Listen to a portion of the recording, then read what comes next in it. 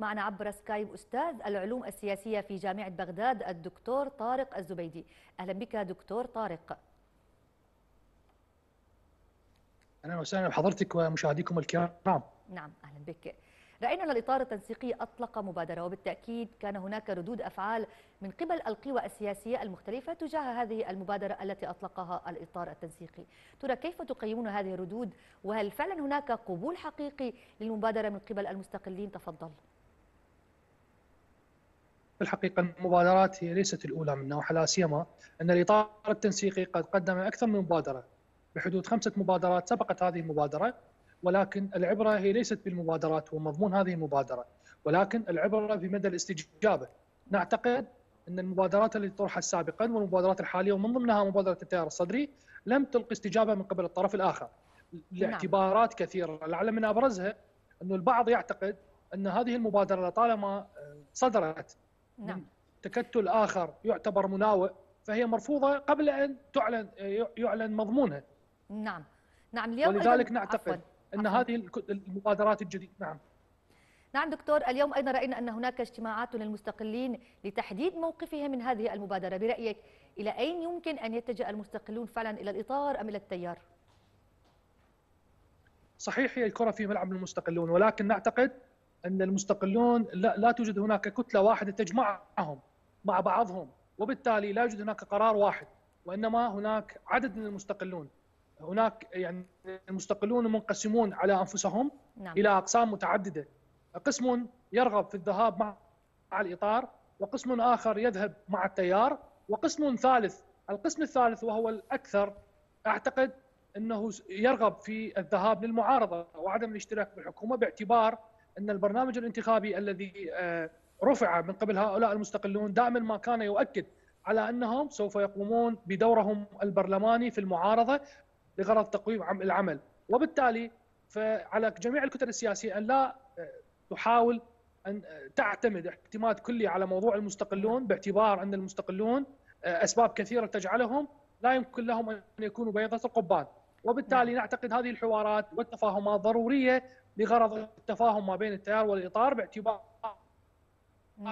اكبر على الساحة ولكن نعتقد أن المبادرات الموجودة لطالما هي موجودة من قبل طرف تجاه طرف آخر أو موجهة من قبل طرف تجاه طرف الآخر فالبعض الآخر يعتقد أن في هذه المبادرة أو تلك فيها مغانم ولا تحتوي في مكاسب له وبالتالي نحتاج إلى آه، رؤية حقيقية واضحة لكل المبادرات اللي موجودة ونحتاج إلى قد تكون هناك مبادرات أخرى في المستقبل. نعم صحيح. العبره ليس بمضمون هذه المبادره ولكن نحن نحتاج أفضل ما نحتاجه بالوقت الحاضر مبادرة جديدة تأخذ بنظر الاعتبار أسباب فشل المبادرات السابقة. نعم لأننا عندما نضع أي وثيقة نضع أي مبادرة يفترض بنا أن نتابع المبادرات السابقة ومضامينها. ما هي الأسباب التي جعلت هذه المبادرة غير لا توجد لها استجابة من قبل التي توجه لهم؟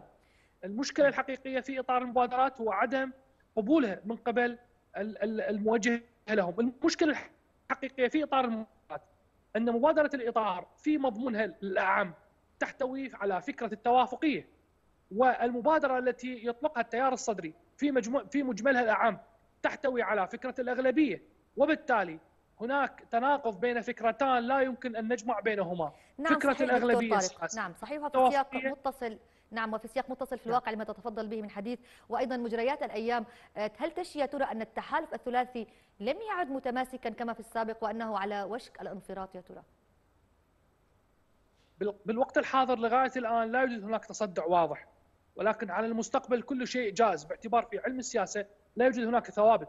لا سيما ونحن نعلم إنه موضوع التكتلات والأحزاب السياسية دائما ما تشهد انشقاقات ما بعد تشكيل حكومة. في كل حكومة بمجرد الاتفاق والوكالات والهيئات المستقلة دائما ما نجد هناك اختلافات على موضوع التقسيم وعلى موضوع آه، الحصص اللي موجودة في داخل هذه الكتل.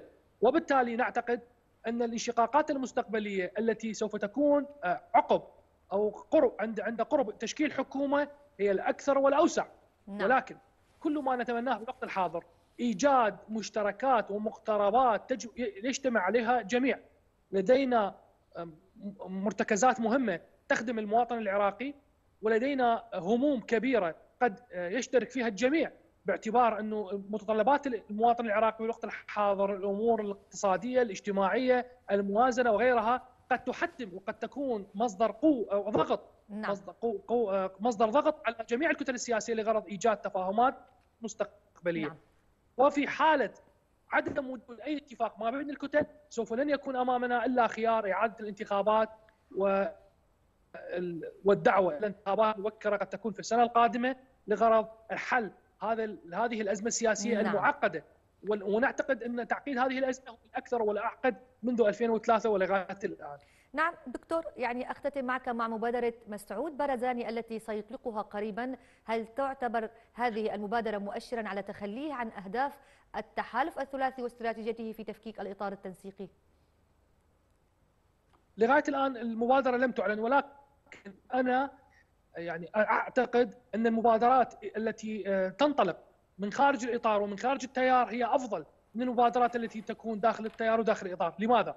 لأن دائما عندما يطرح التيار فكرته ترفض من قبل الإطار والعكس صحيح عندما الإطار يطرح فكرة قد ترفض من قبل التيار باعتبار إنهما غريمان سياسيان، وبالتالي واحدة من أهم أسباب نجاح المبادرات المستقبلية الحالية أو المستقبلية هي عندما تكون مبادرات خارج إطار الكتل السياسية الحالية والتي تعتقد إنها كتل منافسة. نعم، كل الشكر لك دكتور طارق الزبيدي أستاذ العلوم السياسية في جامعة بغداد على هذه الإضافة القيمة كنت ضيفا عبر سكايب واهلا بك دائما.